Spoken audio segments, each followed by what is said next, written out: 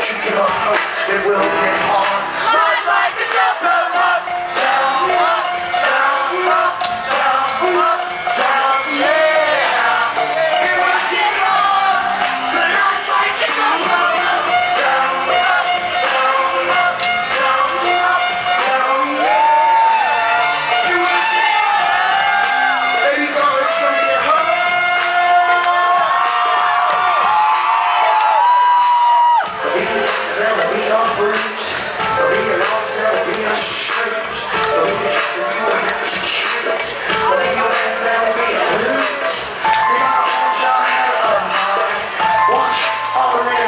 so far.